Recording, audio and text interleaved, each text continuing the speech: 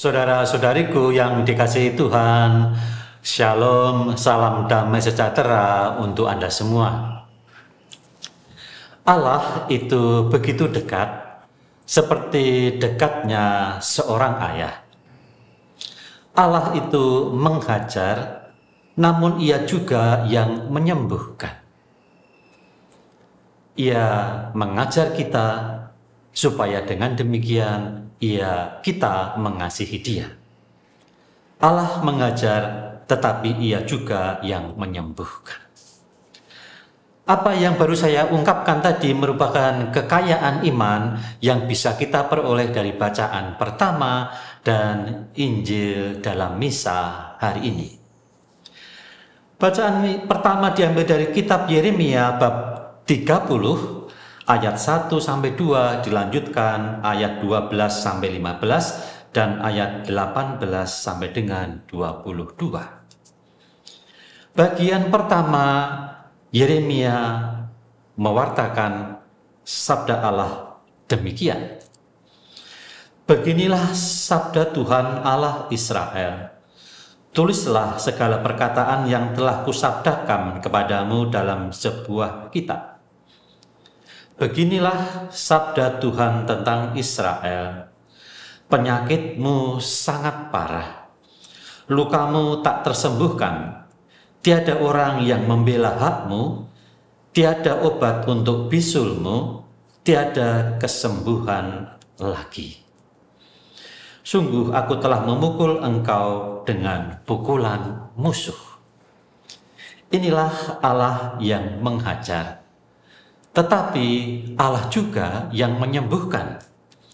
Maka kemudian dalam ayat 18 sampai 22 tampillah Allah yang menyembuhkan.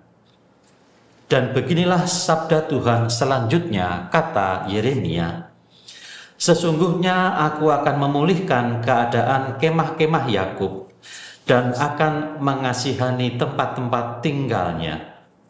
Kota itu akan dibangun kembali di atas reruntuhannya, dan purinya akan berdiri di tempat yang asli.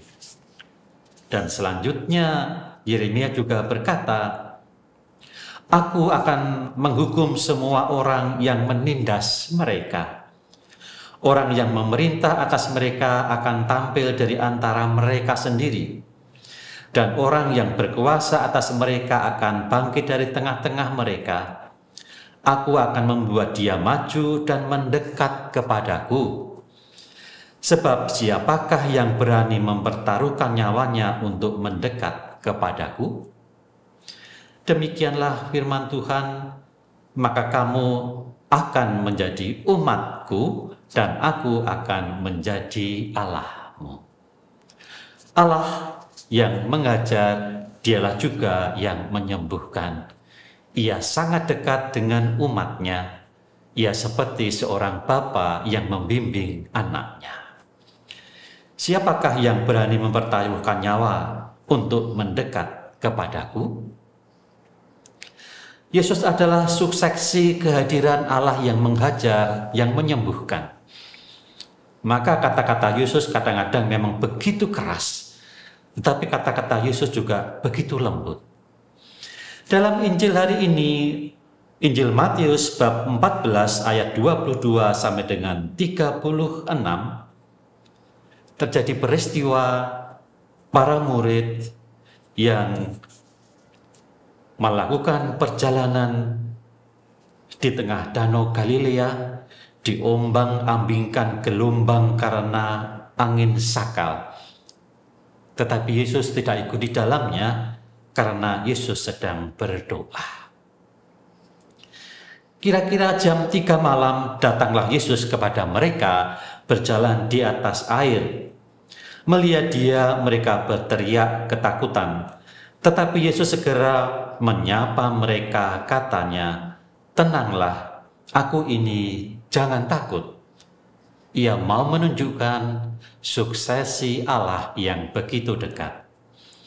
Lalu Petrus berseru, Tuhan jika benar Tuhan sendiri, suruhlah aku datang kepadamu dengan berjalan di atas air Maka kata Yesus, datanglah. Maka Petrus turun dari perahu dan berjalan di atas air mendapatkan Yesus. Tetapi ketika dirasakannya tiupan angin kencang, Petrus menjadi takut dan mulai tenggelam lalu berteriak, Tuhan tolonglah aku. Kemudian dengan segera Yesus mengulurkan tangannya, memegang tangan Petrus dan berkata, Orang kurang percaya, mengapa engkau bimbang? Kelihatannya memang Yesus tidak bersama para murid di dalam perahu, tetapi sebetulnya ia dekat.